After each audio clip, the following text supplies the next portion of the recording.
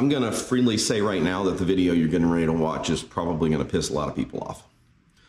You might not even agree with what I'm getting ready to talk about in this vlog, but I felt compelled to talk about it anyway. If you disagree with me, leave it in the comments. I'm fine with that. I'm very responsive with it. You want to hate on it?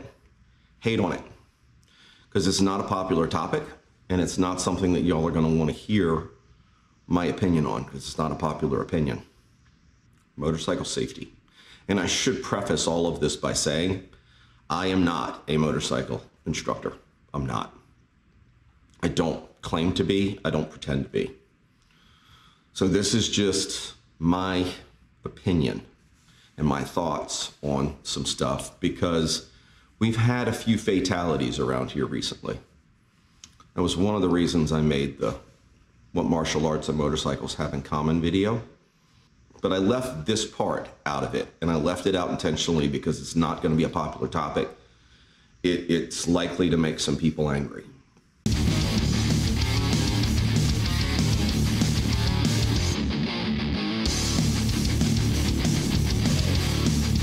What's up? Jim here.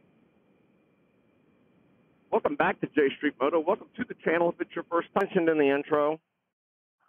There was something I left out of the what do motorcycling and martial arts have in common video that I did a couple of months back.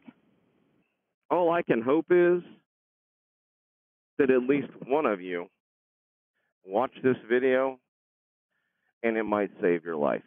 That's what I can hope. If that just happens one time, then I've achieved my objective, regardless of how much it pisses you off to hear what I'm getting ready to say. I wanted to talk to y'all about choices. That's really what this video is about. It's about choices.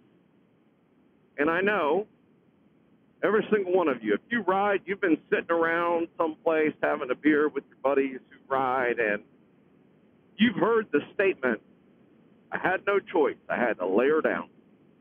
Didn't have a choice. I ended up hitting that car. I did not have a choice. Whenever I hear someone say I didn't have a choice, I think about two things. One, you're right. In that nanosecond, where shit went wrong, where someone turned in front of you, as is the case in what happened to the guy that just died here recently, someone made a left turn right in front of him. I agree. In the nanosecond that that happened, that motorcyclist did not have a choice. But what about all the choices between before he got on his motorcycle and when that nanosecond occurred that they made? What about all those choices? What I'm getting at? Told you you weren't going to like to hear this video and I'm going to try and not make it too preachy because I first and foremost freely admit I am guilty of a lot of the shit that I'm getting ready to tell you. You should not make that choice. That was a bad choice. I will freely admit that I do it too. Doesn't change that it's wrong. Turns out the guy was speeding. So he made the choice to go 20, 25, 30 miles over the speed limit on the road that he was riding on.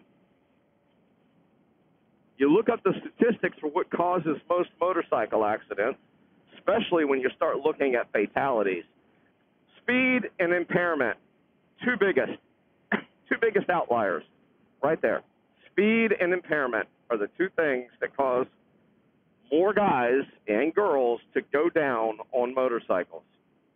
Am I relieving the driver of their responsibility? Not at all. Am I saying I feel for them because it was an impossible situation? Yes, I am. So, how does that factor into choices? Well, when you throw your leg over a bike, you make the choice for how fast you're going to go down a road. I'm on a 30 mile an hour road right now. And I'm choosing to do 35, 36. And I'm setting the cruise control to do this because I know this road is patrolled by the police in my city constantly. But what if I was doing 50 down this road? And there are roads coming into it from neighborhoods on each side. What if I'm hauling ass down this road, 50, 60 miles an hour? Somebody thinks they can make the turn because they see me way back there and figure, oh, well, you know, I got time. Can I blame them for turning in front of me? I don't think I can. I, I don't think I can because I made a choice. Now, granted, in that nanosecond when they do turn in front of me and I have no other choice, you're right. I had no other choice.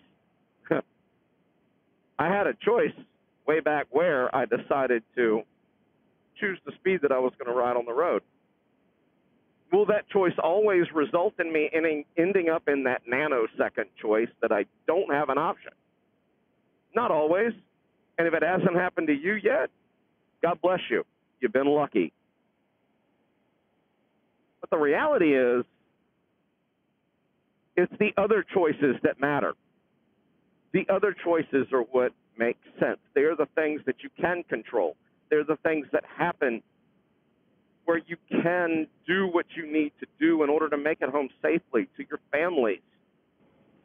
Make bad choices, you're going to suffer consequence. At some point, you're going to suffer consequence.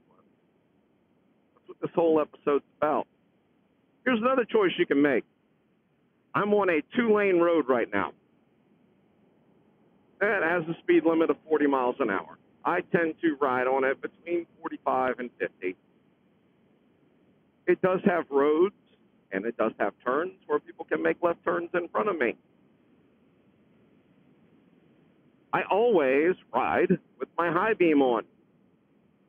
I'm not going to split traffic or split lanes in an area where no one is familiar with that, where it is not necessarily illegal, but isn't something that commonly happens.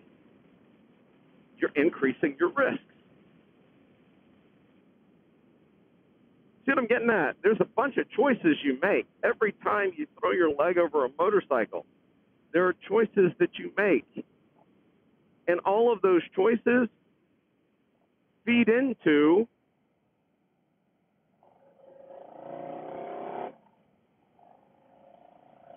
what possibly becomes that nanosecond where you don't have a choice. Is this popular? No, it's not. This is not a popular topic. People don't want to talk about this. How many of you go out? You love riding on the twisties. How many of you go out riding on the twisties and uh, at the speed that you were doing them, you cannot stay in your own lane? You're crossing the double line. You know it happens. I know it happens. I've witnessed it happen. It's happened to me. That's a choice you make. To ride beyond your ability is a choice that you make. You can't then sit there later and say, oh, well, you know, I didn't have a choice. I ran into the front of somebody. I was their hood ornament. I didn't have a damn choice. Yeah, you did. You could have gone slower on the road that you were on. If you were to ask my kids, who are, well, they're not kids anymore, they're damn adults. If you were to ask them what's the one thing I always said every time they left the house, they would tell you, you always told us make good choices. I wasn't speaking about the choice that happens in that nanosecond. I was speaking about all the choices that lead up to that nanosecond in the hopes that it prevented it in martial arts, we have this concept we talk about all the time situational awareness. Situational awareness is understanding your environment, it's understanding everything around you, it is understanding you. What state am I in? Am I fit to be getting on that bike right now and riding? Or should I wait an hour and a half or so and piss my family off by getting home late because I needed to sober up it before I got on the bike. Pretty sure any wife, any husband, any kid out there is going to be glad that you got it, that you got home safely. They're not going to be mad at you for being gone an hour or two hours longer than you said you were going to be. In order for you to be able to ensure that you got home safely. Situational awareness, guys. Understand yourself. Understand the things going on around you. What do you do? Do you make good choices? Do you make good decisions? Now, does it occasionally happen that something, someone else coming the other way crosses your double line? Absolutely, it does. It's happened to me. It killed a very good friend of mine. He was on his Ducati up in the mountains, and a tractor trailer was on the road it should not have been on. It crossed the double line during a blind curve. He didn't see it until it was too late. It hit him, and he died. And that shit happens.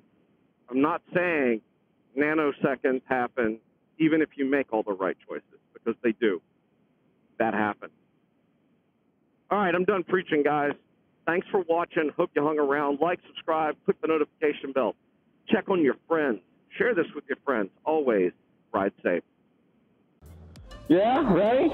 One, two, three, shoot. Ah. Asshole.